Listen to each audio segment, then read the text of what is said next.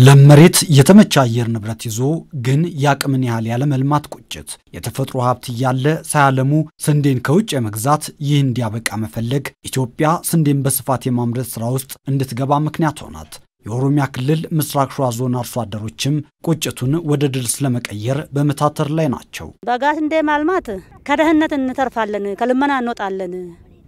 ለምን አፈራችን መሬት እህል እያበቀለ እኛ እንደሃያለን የማለት ስናርሰው ስናየው ጥቅም አለው መጠቀም አለብን። መንግስታችን ከኋላ ሆኖ ከረዳን የማለት አላማ ነው ያለን። የበጋ ስንዴና የክረምት ስንዴ የምንለያይበት የበጋ ዋጋ የለውም፣ ዋጋ አይመት በሽታ አይመታው።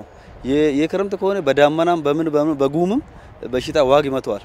ይሄ ስለዚህ ምርቱ የሚበልጠው የበጋ ነው። የተሻለ ዘርተው የተሻለ ማምረት የቻሉት ህይወታቸውን ማሻሻል የጀመሩት አርሶ አደሮች አሁንም ለተሻለ ምርታማነት በመትጋት ላይ ናቸው። በተሻሻሉ የግብርና ቴክኖሎጂዎች ከእርሻው እስከ ምርቱ መዝለቃቸውም ለተሻለ ውጤት አነሳስቷቸዋል። ድሮ ያጋጠመ ነው የውሃ ችግር ነበር፣ የፓምፕ ችግር ነበር። በዚህኛው ግን መንግስትም ትኩረት አድርግቶ ሞቶሩም አደራጅቶ በ group በ group አዘጋጅቶ ሞቶሩም ሰጥቶናል።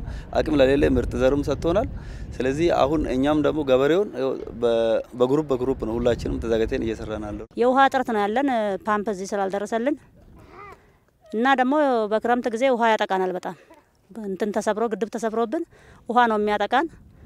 ያው እንግዲህ መንግስታችንም እናመሰግነዋለን እየተባበረን ነው። ፓምፕም ያው አንዳንድ ቦታ ላይ እየለቀቀልን ነው። ለአሁኑ አጠገባችን አልደረሰም እንጂ እኛም እና በቃ በደንብ እኛም እንሰራለን እንጠቀማለን ባይነን። ባለፉት ዓመታት በበጋ ስንዴ የተሰሩ ስራዎች ውጤታማነት ዘንድሮ የተሻለ ቅድመ ዝግጅት እንዲደረግ ምክንያት ሆኗል። አርሶ አደሮችም ግንዛቤያቸው እያደገ መምጣቱ ለተሻለ ውጤታማነት እንዳነሳሳቸው ነው የሚያስረዱት። ከዚህ ቀደም የነበሩ ችግሮች ተለይተው ለመፍታት መሰራቱን ያነሳሉ።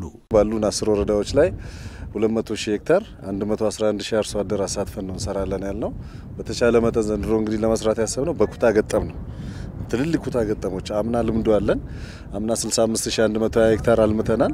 2.7 ሚሊዮን ኩንታል ነው ኢንጀክት ያደረግነው አምርተን ገበያ ላይ። ዘንድሮ ከዛ ልምድ በመውሰድ አምና የነበሩብን gap ኦች ነበሩ። የውሃ management ኡ ላይ gap ነበረብን። ፓምፖች ላይ ያሉን ችግሮችን በጊዜ ቀርፈን ነው የገባነው።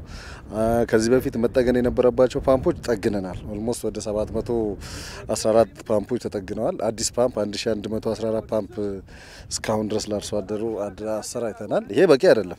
አሁንም እንደገና ከኋላ እያመጣን ያለነው።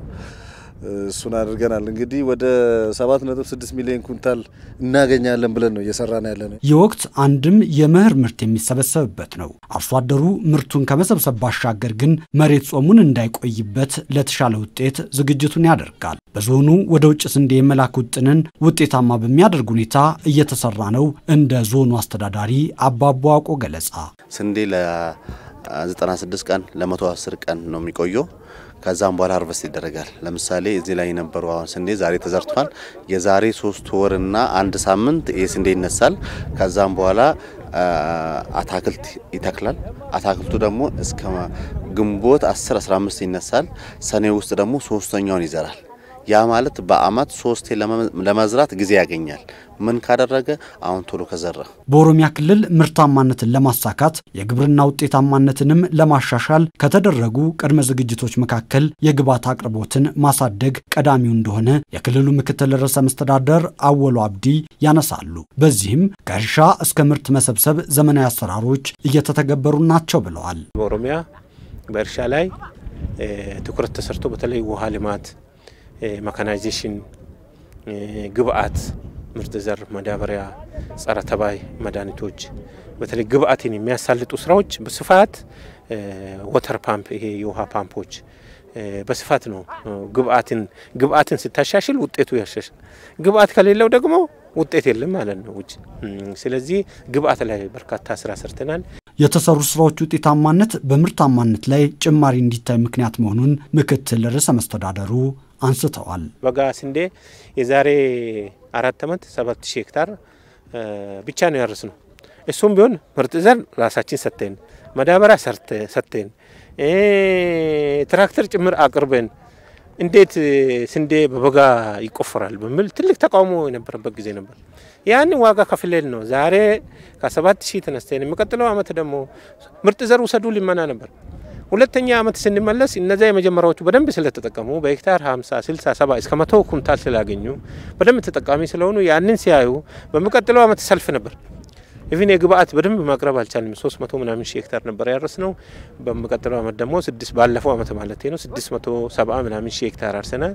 በዚህ ዓመት ደግሞ አንድ ሚሊዮን አቅደን አሁን በዚህ ሰዓት ባለንበት almost ሁለት መቶ ሺህ ሄክታር ታርሶ ተዘርቶ already የበቀለበት ሁኔታም አለ ማለት ነው።